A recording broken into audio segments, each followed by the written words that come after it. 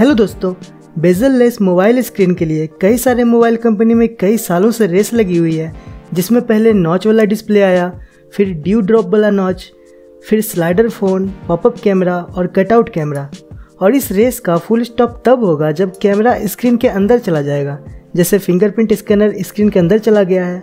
तो सभी कंपनीज़ इस पर काम कर रही है।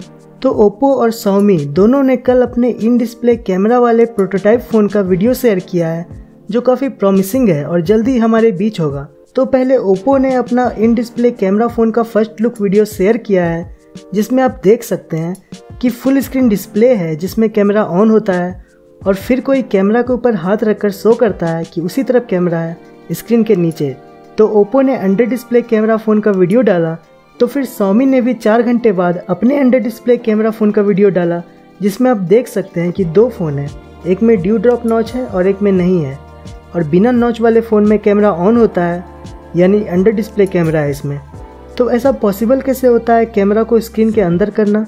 तो साउमी ने इसका बेसिक एक्सप्लेनेशन दिया है कि सेल्फी कैमरा स्क्रीन के अंदर है और उसके ऊपर का स्क्रीन का हिस्सा ट्रांसपेरेंट ओलेड है। जैसे कि ट्रांसपेरेंट ओलेड टीवी होता है, जो ऑन रहते हुए नॉर्मल स्क्रीन होता है, पर ऑफ़ होते ही ट्रांसपेरेंट हो जाता है। तो वही इस फ़ोन में भी है।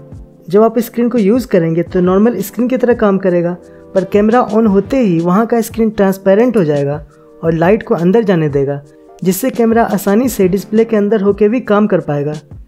ये स्क्रीन 100% ट्रांसपेरेंट होगा या उससे कम होगा, ये तो कंफर्म नहीं है, पर सौमी ने कहा है कि कैमरा के ऊपर स्क्रीन पे जो ग्लास है, वो लो रिफ्लेक्टिव हाई ट्रांसमिटेंस वाला ग्लास है, जो एक लेंस की तरह काम करेगा और नॉर्मल ग्लास के मुकाबले ये ज़्यादा लाइट अंदर जाने देगा, शायद 98 परसेंट तक। और इस तरह से ये ग्लास के कारण सेल्फी कैमरा क्वालिटी में ज़्यादा फ़र्क नहीं आना चाहिए। पर सोमी ने तो कहा है कि अंडर डिस्प्ले कैमरा में नॉच वाले कैमरा से बेटर फ़ोटो आएगा। तो ये तो ऐसे फ़ोन लॉन्च होने के बाद ही पता चलेगा।